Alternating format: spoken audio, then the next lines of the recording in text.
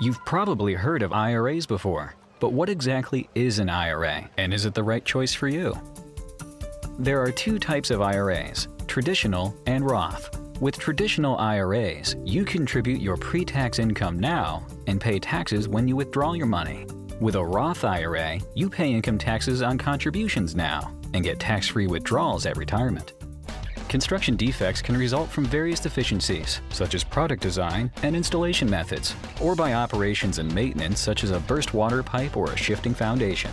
When allegations of construction defects are presented, understanding each of these potential failure mechanisms can help to identify potential culpable parties.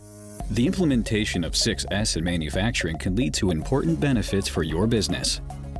Managers and employees have a better understanding of what equipment they use, when, and how often. Therefore, they can prioritize shop space, order missing equipment in advance, and schedule maintenance to prevent machine breakdown. We're here at Alta Ski Resort in Utah, where it averages nearly 550 inches of snow every year over its 119 trails.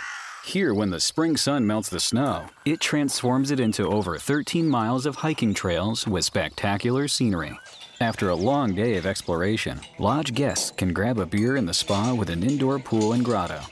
Vincent Price, a man whose name is synonymous with the dark and macabre, had an iconic voice that set him apart during the golden years of Hollywood.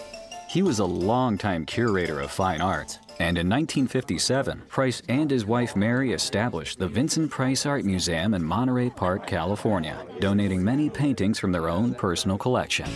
Onboarding is not the same as new hire orientation. Onboarding is a process that lasts several months and will enable our new employees to achieve success in their new position. HR works alongside the hiring manager to provide important tools. This is a responsibility of the hiring manager because it takes place on the job and helps new hires to adjust to their new environment.